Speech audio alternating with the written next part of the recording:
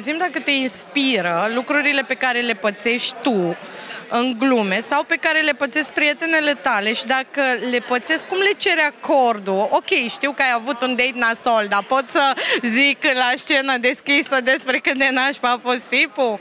Măi, eu sunt răuță așa și nu le cer acordul. De ce? Pentru că nu le folosesc numele și atunci e o situație pe care o poți întâlni în foarte multe locuri și nu mi se pare pentru ce să-ți cer acordul să-ți folosesc gluma, adică gluma, situația și eu, până la urmă eu o transform în glumă. Și am mulți prieteni care îmi spun uh, știi uh, să-mi dai jumătate din bani că ai folosit situația respectivă. Zic nu, pentru că gluma eu am făcut-o faptul că eu am muncit și că am fost deșteaptă să duc asta mai departe, mi se datorează, deci toți banii la mine îmi pare rău. Un suc pot să-ți dau.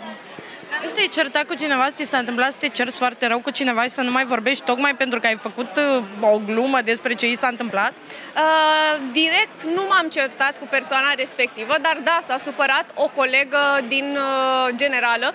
Am avut eu niște glume la umor când povesteam de colega mea deșteapta clasei uh, și ea s-a regăsit în glumele respective cu toate că erau chestii generale, adică culeasă din mai multe situații și pusă. Că o fi fost și ea când am fost noi colege patru ani și a fost ea deșteaptă, n-are nicio legătură, adică eu nu, nici măcar ea nu avea aceeași situație, ci pur și simplu i s-a părut că e despre ea, că așa sunt foarte... Și un fost s-a supărat.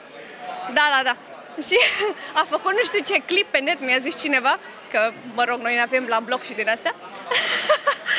și uh, că uh, fosta mea a făcut uh, la umor despre mine și eram prietenă, nu ți-a dat nimeni numele, adică doar tu te bagi în seamă și te faci singur, că nu a zis nimeni cum te cheamă pe tine.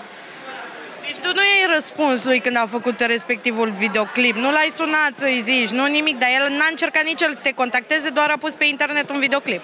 Exact, da, nu, nu, nu, nu m-a contactat, nu l-am contactat, mie nici nu pasă, efectiv, mie nu mă interesează nici de fata aia, nici de nimeni care uh, se regăsește în glumele mele și, a, e despre mine. A, mi-a mai scris un fost când am făcut eu, mă rog, alte glume, era primul meu iubit și mi-a zis tot așa că, aoleu, că asta e părerea ta despre tine, zic, prietene, sunt niște, despre mine și zic că sunt niște glume Adică au trecut atâția ani, tu de asta îmi scrii acum, după 20 de ani, calmează-te!